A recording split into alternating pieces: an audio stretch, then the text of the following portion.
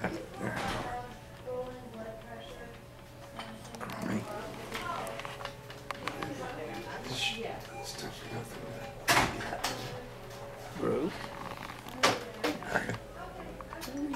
yeah, I got others.